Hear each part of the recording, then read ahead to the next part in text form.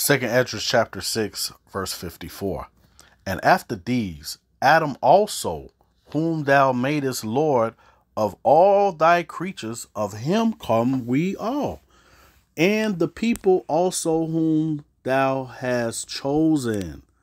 All right. All this have I spoken before thee, O Lord Yahweh, because thou madest the world for our sakes. Call Haloyim La Yahweh Bahasham Yahweh Shai Bahasham Rakahakadash. Double honors and salutations to the apostles and elders at Great Millstone that taught us this truth that rule well. Peace and salutations to the hopeful elect and to the one third men, women, and children of Israel, and to the Israelite foreigners who has the appearance of the heathens, but their lineage, their seed lines from their fathers goes back to Abraham, Isaac, and Jacob. Shalom. This the brother Hawashi Ibadyah, GMS Chicago. And uh want to title this video The World Was Made for the Elect. All right. So-called Negroes, Latinos, and Native Americans. Whether you want to believe that, receive it, accept it, understand it, that's what it is. All right. Thus saith the Bible. Let's grab this real quick here. The book of Deuteronomy, chapter 6 and 7. It reads, For thou art an holy people. This is talking to the Israelites, right? Uh, unto the Lord Yahweh thy power. The Lord Yahweh thy power has chosen thee to be a special people unto himself above all people that are upon the face of the earth. All right. How do you know you're an Israelite? You you you uh it's through the spirit, first and foremost, all right. Romans 8 and 16, and signs and the wonder, as it tells you in uh, Deuteronomy chapter 28, verses, uh, what's that? Pretty much verses uh, 14 through 68. Okay.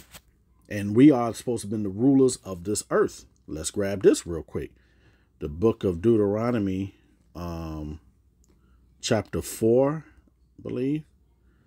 It says here, Deuteronomy 4 and 7, For what nation is there so great? Because, hey, the Lord gave us the law, statutes, and commandments through Moses, right? And we're supposed to rule the earth and, and, and um, abide by these uh, commandments, but we went off, all right? We we we um, were disobedient against the Lord Yahweh Shem Yahushai. Hence the reason why he put these curses on us, uh, according to Deuteronomy 28. And that's why we are the piece of shit nation of all nations, man, the Israelites, okay, in this world ruled by Esau Edom, the self proclaimed white man. Okay, he got his blessing in Genesis 27, okay, to rule, the, to have the fatness of the earth and rule it with his sword, which is his guns and his military. All right, the Lord did that as a punishment to us. He put the, the basis of man, which are Esau, Edom, the uh, uh, uh the so-called white man, uh, above everybody of the, uh, of the earth. Okay, that's Daniel four and seventeen. Okay. So they're ruling in wickedness. Hence the reason why the world is the way it is, ran in wickedness. This is Satan's kingdom. Satan means adversary of the scriptures, right? He's an adversary of righteousness. Okay. This is Satan's playground. All right. And Esau Edom, he is the uh, human counterparts of Satan. He does the bidding of Satan. All right. Hence the reason he's the devil the Bible speaks of, right? Devil means deceiver. Okay. So it says here, For what nation is there so great who have Yahweh so near unto him as the Lord Yahweh is our power, is in all things that we call upon for him. Salaki, him for. And what nation is there so great that has statutes and judgments so righteous as all this law which I set before you this day? And it comes to mind every time at the end of the year here in Babylon the Great they always come out with like uh, uh, uh 10,000 more new laws that they got for the year. Okay. Hey, I saw a meme the other day that said, uh, a nation that has so many laws is full with corruption or corrupt nations uh, have so many laws, something of that nature. All right.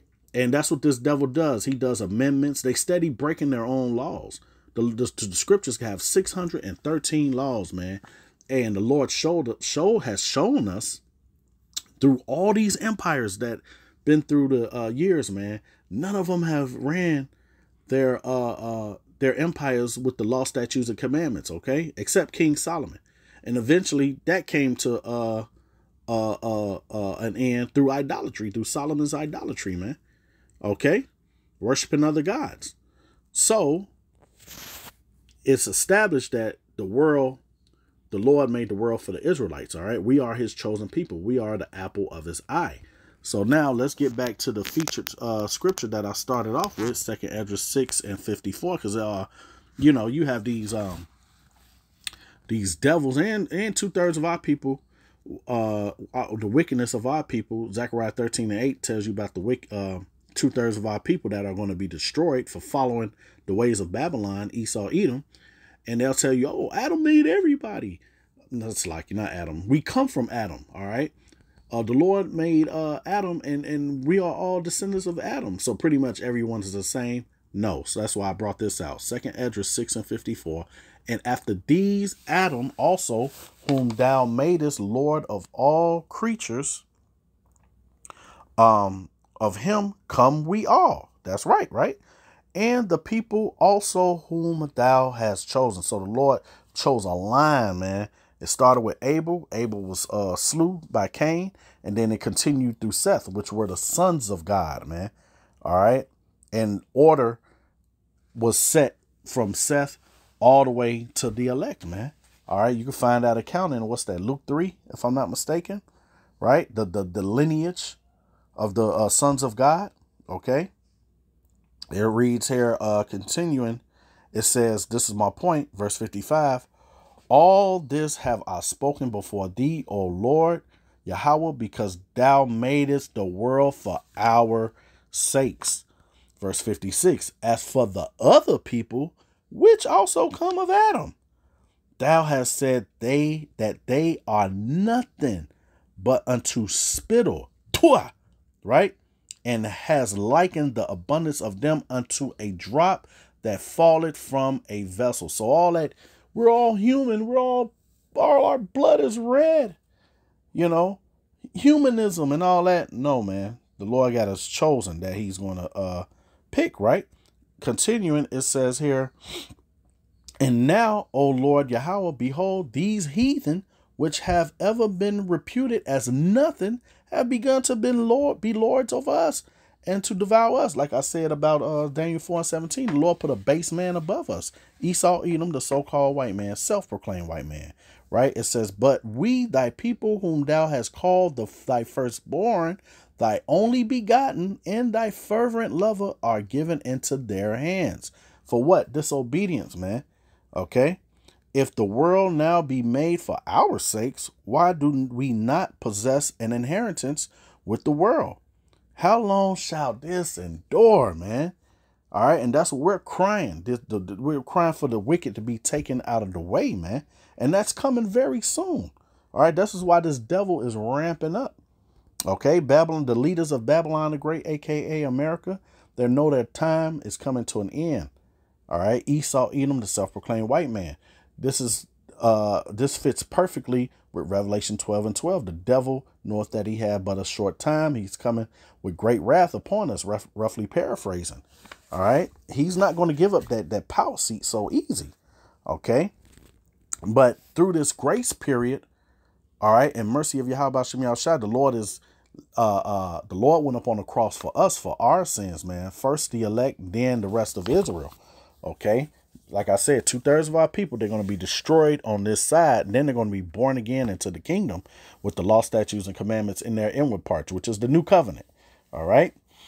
So during this grace period, hey, man, the Lord, he really should have just destroyed this place with all the wickedness that you see going on in these days.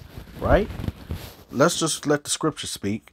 Um, this is Isaiah 1 and 9, and it reads, Except the Lord Yahweh of hosts have less left us slacking. Let me read again. Except the Lord Yahweh of hosts had left unto us a very small remnant. That's all it's about. The Lord is only coming to save his elect. That's Matthew chapter 24, verse 30 and 31. All right. And many more uh, uh, in the gospel. All right. The Lord is coming back to save his elect. That's all the Lord cares about on this side. Okay. He's coming with the chariots, which you people ignorantly call UFOs. All right. And he's going to uh, uh, uh, lift us up with him in the clouds, man. Okay? We should have been as Sodom and we should have been likened to Gomorrah. Everybody know what happened to Sodom and Gomorrah. Utter destruction, right?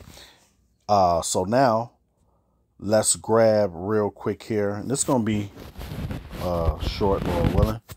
This is the book of Matthew. Let's grab the book of Matthew, chapter 24, that I had quoted in 22. It says here, this is Yahushua speaking. It says, um, for uh, I started I start uh at 20. It says here, but pray ye that your flight be not in the winter, neither on the Sabbath day, for then shall be great tribulation. Okay, such as was not since the beginning of the world to this time, no, nor ever shall be. All right, so it's going to be madness, Jacob's trouble, but guess what? The Lord is going to protect his elect. Matter of fact, the elect is going to laugh in the, in destruction and famine, according to uh, Job 5 and 22, right? It says here, except verse 22, and except those days shall should be shortened, there should no flesh be saved, but for the elect's sake, those days shall be shortened. All right. So and what that's that's kind of what um, inspired this video, man. Just how the days are just flying. We're at the end of the year. I remember just uh wondering like what Apostle Tahar is going to coin this year. I swear that just felt like six months ago. All right, here we are again. Uh, shit, two weeks away from the uh end of this year, right? So the Lord, man, is, is doing things. Uh, uh, he's showing judgment to the wicked for our sakes, man. All right. The Lord is dealing, man, and, and it's beautiful, right? And let's end it off with this, man, because, hey, the Lord really just, how I want to say, he's letting everything go. He's letting wickedness pile up. Matter of fact, let me get this real quick. Let's get this real quick is that uh second Esdras four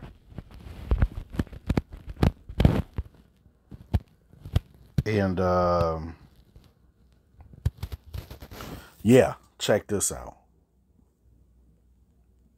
verse uh second Esdras 4 and 28 it says but as concerning the things wherefore thou ask me i will tell thee for the evil is sown right because we like, man, Lord, when is this going to end? This is too much, man. The evil is just off the chain, right?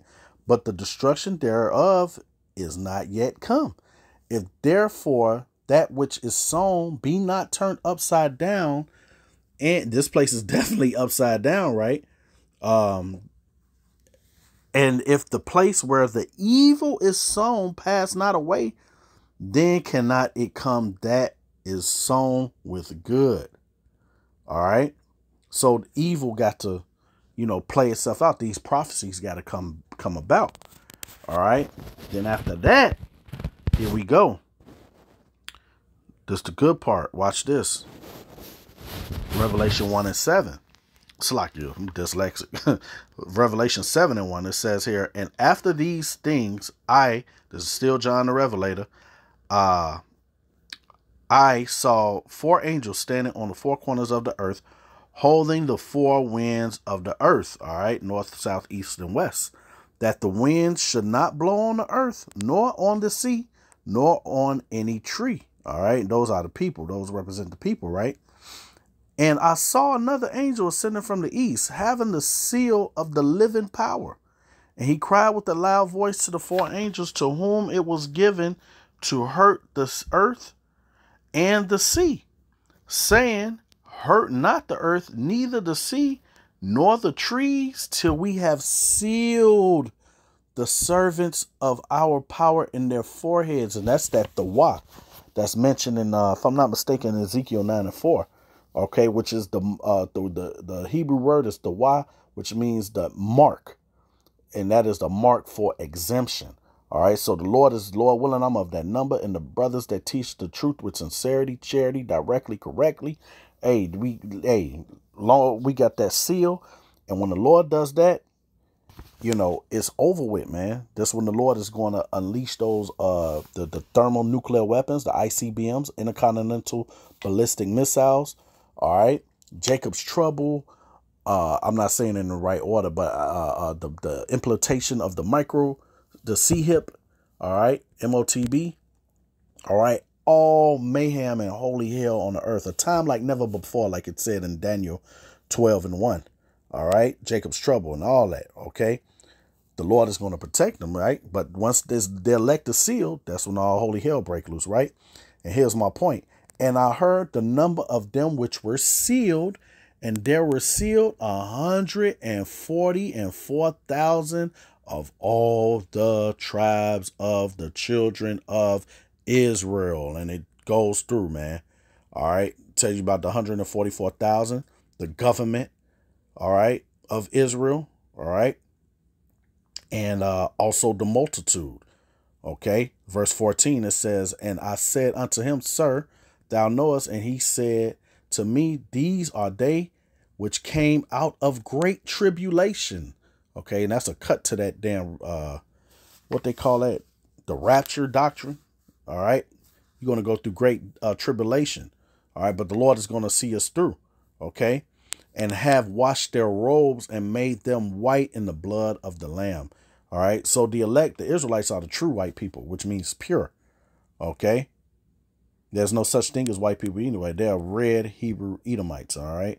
The first one uh, came, the, uh, he came out red like into a hairy garment. Genesis 25 and 25. Okay. So that's pretty much it, man. The the world was made for the elect's sake, man. All right. And the only way the Lord got America, uh, aka Babylon the Great, continuing is to seal up the elect. And once they're sealed, that's over. It's over with. The, it's, everything is about the elect. But hey, right now we're in a base position. The Lord put us in this base position because we went off. But guess what? We're getting ready to be put back on top. The Lord is going to give, give us our fame again and we're going to rule the earth for eternity. Matter of fact, let's let's get that, man. Let me grab uh because after the Lord destroyed this place, this is what it is. Second Ezra 6 and 7. Then answered I and, and said, What shall be the parting asunder of the times? Or when shall be the end of the first and the beginning of it that followeth? All right. And what's the end of the time? World War Three, right? Nuclear bombs being let off and, and, and, turning America into the lake of fire, along with the chariots, which you people ignorantly call UFOs, right? And he said unto me, From Abraham unto Isaac, when Jacob and Esau were born of him, Jacob's hand held first the heel of Esau. For Esau is the end of the world. All right, and you go into that world, that word world is uh eon in the Greek, which means an age, pretty much the end of uh, so-called white supremacy, the end of Edomite supremacy. Okay, and what Jacob is the beginning of it that follows. All right, so it's just not going to be a big kaboom bang and the world is in and that's it. You know, normal humanity, no way. Let me grab this one too. I ended off with this too. It says Daniel 2 and 44, and it says, And in the days of the these kings shall the power of heaven set up a kingdom which shall never be destroyed, and the kingdom shall be ne- shall not be left to other people, but it shall break in pieces and consume all these kingdoms, and what it shall stand forever. So with that, I pray it's edifying. Brakateh Yahweh, Brakateh Shabbat, Shem Shalom.